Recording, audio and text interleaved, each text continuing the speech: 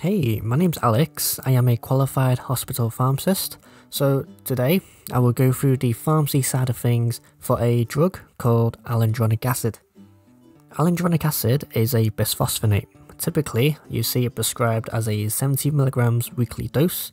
So remember, it's a weekly dose taken on the same day each week. So it's mainly used for people with osteoporosis, which is basically the weakening of the bone Here's a picture of a healthy bone and a picture of the effects of osteoporosis that it can have.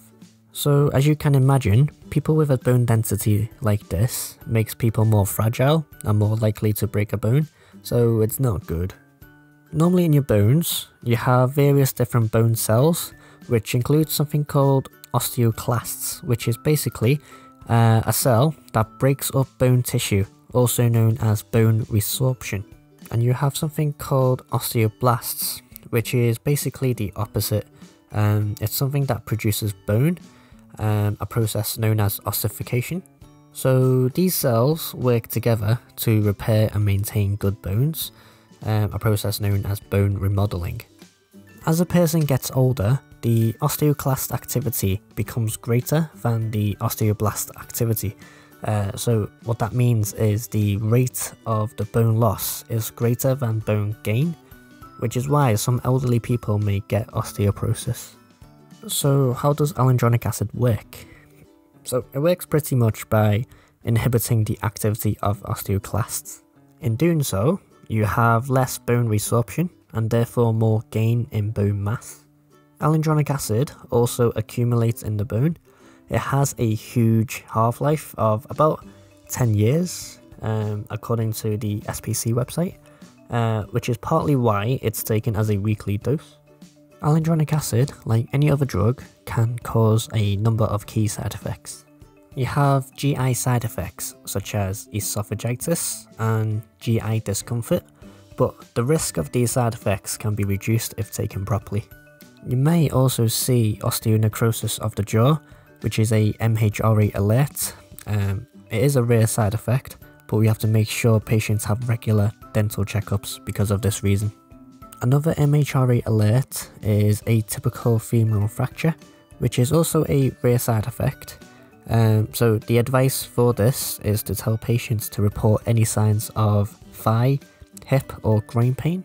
You might also want to check if patients have any ear problems because alendronic acid may also cause osteonecrosis of the external auditory canal, but it's very rare.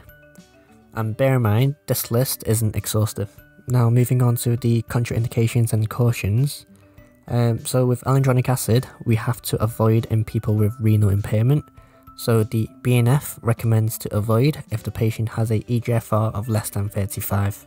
Then you have hypocalcemia, you need to check calcium and vitamin D levels before a patient starts taking alendronic acid. Patients already having esophageal problems. Remember, one of the key side effects of alendronic acid is esophagitis, so we don't want to worsen any existing problems.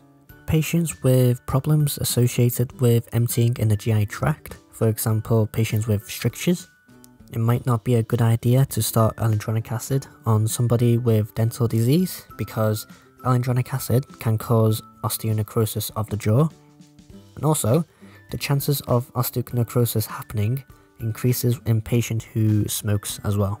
So alendronic acid is poorly absorbed orally, but we can increase this absorption if we tell patients to take it the right way. Alendronic acid should be swallowed whole with 100 ml of water, do not chew, and take it 30 minutes before breakfast or medicine. So the special thing about alendronic acid is that you have to tell patients to remain upright or stand up for at least 30 minutes after administration. And the reason why we do that is so that we can minimize the irritation to the esophagus as much as possible. And the other thing is is to tell patients to just drink it with water, not with not with milk or with any antacids because alendronic acid binds to calcium, which basically reduces the absorption of it. And that is it for this video. Let me know if I've missed anything out. Um, also let me know in the comments below what other medications you want me to cover. Um, make sure to subscribe and thank you for watching.